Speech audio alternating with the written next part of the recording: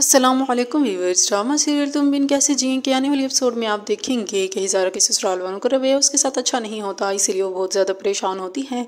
और वो यही चाहती है कि अदील के साथ साथ बाकी ससुराल वाले भी उससे बहुत मोहब्बत करें, लेकिन ऐसा किसी सूरत नहीं होगा। उसकी नन तो ये सोच चुकी है कि किसी सूरत इसे यहाँ पर नहीं रहने दूँगी।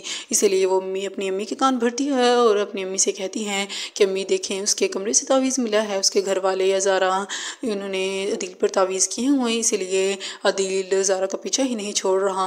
ज़ारा बहुत ही ज़्यादा परेशान होगी। ज़ारा दिल से कहेगी कि आपके बगैर मेरी हर खुशी नामुकम्मल है, अधूरी है इस तरह।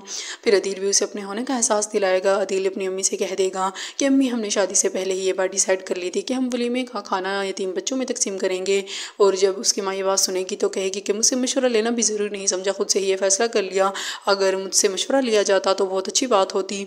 और दूसरी तरफ़ माहीन अपने घर वालों से कह देगी कि, हे, अम्मी, ज़ारा उस घर में बिल्कुल भी खुश नहीं है, उसके ससुराल वालों का रवैया, उसके साथ बहुत बुरा है, मैं ये बात जानती हूँ। और मैं ये बात ज़ारा से भी कह चुकी हूँ कि जब तुम इन दोनों सबसे तंग आ जाओ तो तुम घर वापस आ जाना। लेकिन फिर मैं इनके घर वाले कहेंगे कि ऐसा कुछ भी नहीं है ज़ारा।